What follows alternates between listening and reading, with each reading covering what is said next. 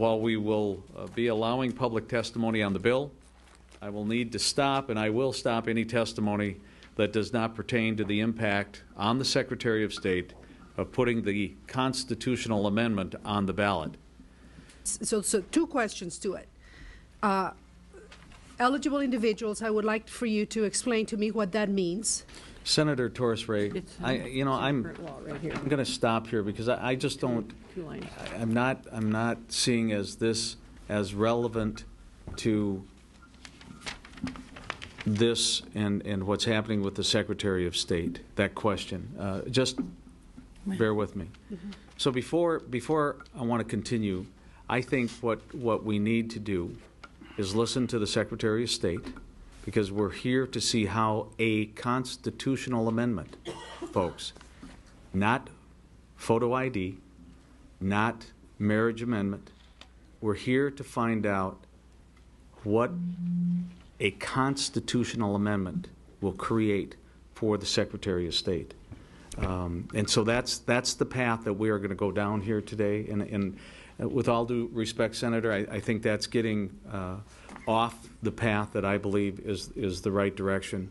Topic. Senator Goodwin? I just wanted to remind the chair that we have a new bill in front of us now, and so this particular bill, this delete all amendment, has not been heard in any committee yet. So I think my advice would be it's fair game to discuss this new language so everybody understands that even though we did have a five-hour hearing on the past, it wasn't on this language. Well, it's, Senator Goodwin, with all due respect, it's substantially the same, and we're not going to go down that path today.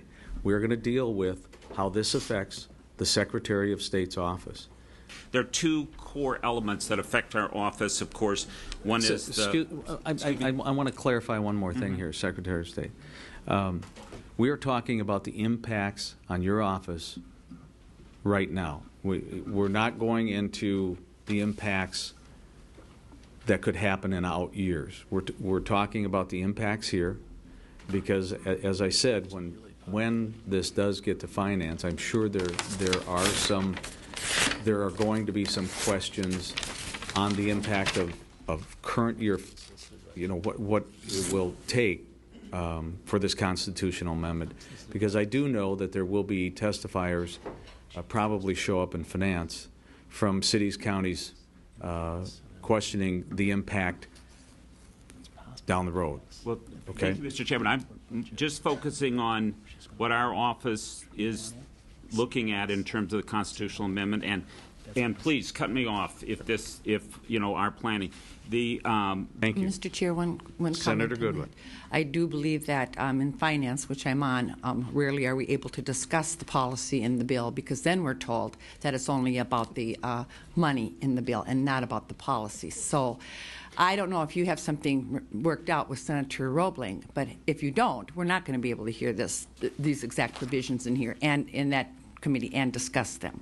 So I hope you two have worked this out because otherwise this bill, very important bill the state of Minnesota, is not going to get a full and open discussion. I- And, and uh, I, I hear uh, you, I have, we have spoke with Senator Robling. This bill will be heard. Uh, And as I mentioned, uh, with these few, uh, a couple of minor changes, this bill is significantly the same that did get its five and a half hour hearing previously in state government. Um, Senator, can you can help me to understand what kind of take me through the mechanisms if I vote as in, in an absentee ballot and if this bill goes into law? How how does that flow? How does that work to ensure that if I am in Kuwait or if I am out of town on business legitimately, how does my vote get counted? I'm not sure, Mr. Chair. I like I, you know, I didn't. I'm not sure. I don't sit on the finance committee, nor do I sit in local gov. And, and Senator, I mean uh, Secretary Ritchie, kind of talked about it. Senator Carlson kind of brought it up. So I'm, I'm just not quite sure how we're going to how, how we go through this bill if if we can't get any questions answered. And I think that's a legitimate question. And, and with, with that being said, uh, just that much leniency here because Secretary Ritchie started this. I'm, I'm kidding, Yeah. Secretary, okay. Mr. Chairman, So, thank you. please, yes. Uh, Senator Hayes.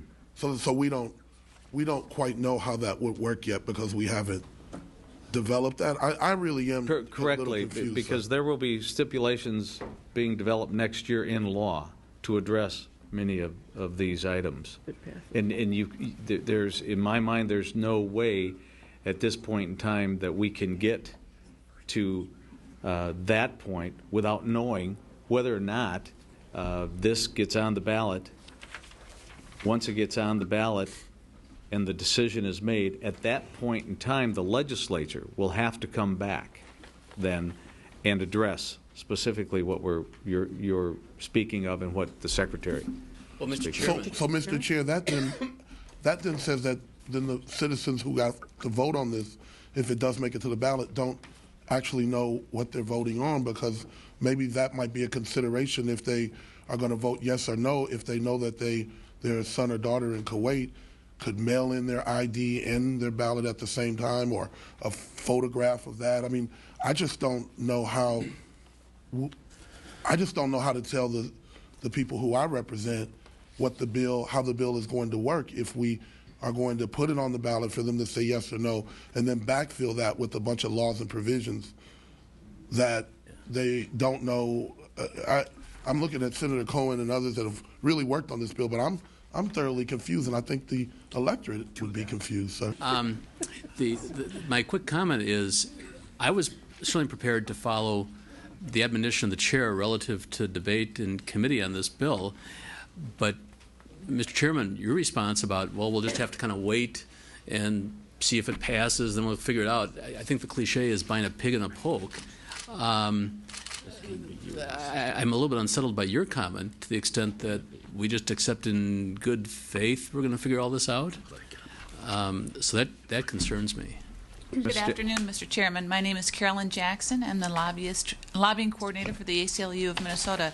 And So before I- before we get started, please remember that we are specifically talking about getting uh, how an- uh, a constitutional amendment gets on the ballot here. If And- you and- please, Senator, I do have a question for you about that. Um, my testimony is about two different um, aspects of this. The first is that is our reading of this constitutional amendment that it changes the structure of state government. And if it's not heard in this committee, I don't know where that concern would be raised. The second one is about um, the effect on the Secretary of State's office of putting this on the ballot um, and the lawsuits ensuing from that action, not from anything that would happen after the November 2012 election. So um, those are the two parts of my testimony. But I do have a question for you. If this does create a new state, it's a constitutional amendment that changes the structure of our state government. And if it's not heard here, where would I present that testimony? You have me intrigued right now, so um, I'm going to let you move forward. Um, Does it match? And it will create a, a cottage industry of lawsuits, um, sort of ongoing every time someone's turned away. Because it creates a new unfunded mandate. Ms. Jackson, I, I'm I- almost I think, done. I think we get that part. uh, I have of- one of- sentence, two sentences left. May I say them, please? Creates a new unfunded mandate and substantious, sub, subjects the state to substantial legal costs. We urge the committee to vote no. Thank you very much. I, I do think that we should be asking voters, is this important to you? I don't think we have to ask them, if it's important to you, how do we implement every last single detail in order to accomplish your goal? I think that's what we do after the voters have spoken and said, this is our common goal. And if they had a picture ID, they would be able to use the government issued ID to vote. Correct. And, Correct. and, and Mr. Go on to the next one. Mr. Johnson? Yeah? You're, you're really off. I, I get what you're saying. I think everybody understands what you're saying, but you're off track here when we're specifically talking about a, a constitutional amendment and what it takes for the Secretary of State uh, to get that on the ballot. And, and that's where we're at. You're, you, you're out in testimony that has been given already uh, in local government. Uh, and so I, I just, Okay. Then I will go on to, to uh, points more direct. These points were points I've taken as listening to the Secretary of State give his testimony, and, and this was basically a rebuttal. Right, and and I, I think I'm going to stop you there, Mr. Johnson, because um, I, we we get your point. We we understand what you're trying to say, sir, and I appreciate you. Uh, I would like to have you uh, contact my office uh, with with your information, sir, uh, and uh, I appreciate uh, you taking the time off. And it's unfortunate that that um, we're just we're just not going down that path. as our testifiers come up and they're kind of on your track and off your track, but as they kind of bring other issues into discussion, I think it's a it's a little tough for me to sit here and not be able to at least ask them follow up questions. I want to make sure that as they make their statements, they're not misinformation that they're kind of sending out to the public. So I, I would really hope that we could stick to what you really wanted this hearing to be, or if not, then, Mr. Chair, we should get an opportunity to to at least ask a question of some of the testifiers to clarify the statements. Correct, Senator Hayden, and, and I can't agree with you more. I don't know what they're going to testify as. They have not written it out, so I could have pre-read that. So I'm I'm specifically for for like Mr. Um, uh, Johnson who came took a day off. I want to allow as much leniency until I can gather exactly what path they're going down. I, I get you. I, I understand what you're saying, Senator Hayden, and and. Uh, uh, thank you for that comment. This is the state government committee, and this is the place to hear this thoroughly. And I know there are other people that would like to talk on this bill. And if we're putting constitutional amendments on the ballot because we want to hear from the people, then let's start that process here in this room. And let people come up and testify on it because I know there's a number of other issues that people have concern about.